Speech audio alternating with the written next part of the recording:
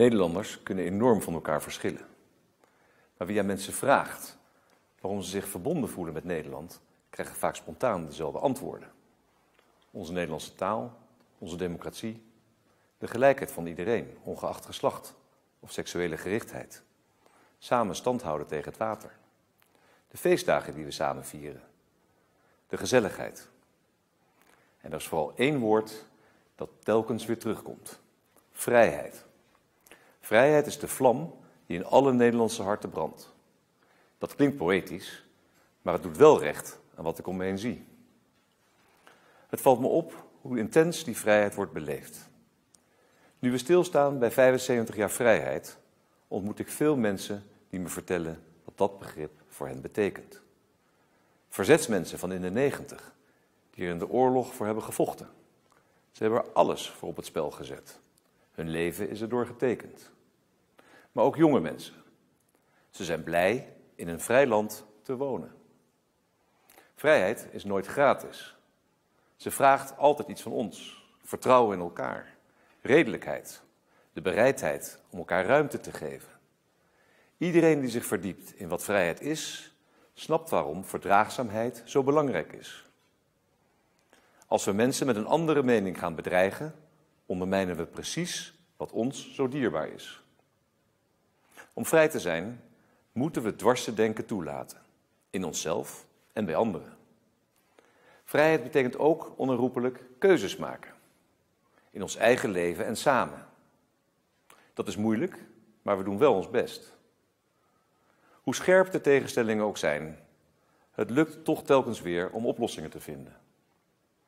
Die bedrevenheid om met elkaar te praten en soms wat in te schikken, zullen we ook in de komende tijd nog heel hard nodig hebben. Een beetje afstand helpt om dingen in perspectief te zien. Veel landgenoten die in het buitenland wonen, ontdekken met terugwerkende kracht hoe goed ons land is georganiseerd. Nederland is nog altijd een van de meest succesvolle landen van de wereld. Achter dat succes staan mensen zoals u en jij. Miljoenen professionals en vrijwilligers die er ook in moeilijke omstandigheden samen het beste van maken. Leerkrachten, politiemensen, artsen en verplegers, ambtenaren en rechters, boeren, bouwers en biologen. Ook al kunnen de emoties soms hoog oplopen, Nederlanders hebben toch het gevoel bij elkaar te horen. Dat is onze grote kracht. Het draagt niet alleen bij aan een land dat goed presteert, maar ook aan een land waarin mensen gemiddeld genomen gelukkig zijn. En toch, in deze dagen van het jaar, nu het kerstfeest wat rust brengt in de hectiek van het dagelijkse leven, kunnen ook de twijfels naar boven komen. Doe ik het wel goed? Maak ik de juiste keuzes? Ben ik wel echt gelukkig? Dat streven naar geluk is mooi, maar het mag geen obsessie worden. Ook verdriet mag er zijn. Ook twijfels en gevoelens van eenzaamheid mogen er zijn. Ook mislukkingen en tegenslagen horen bij het leven. In de jacht naar geluk en succes kunnen we onszelf soms voorbij lopen. We willen als vrije mensen het beste uit het leven halen en verwijt het onszelf als dat niet lukt.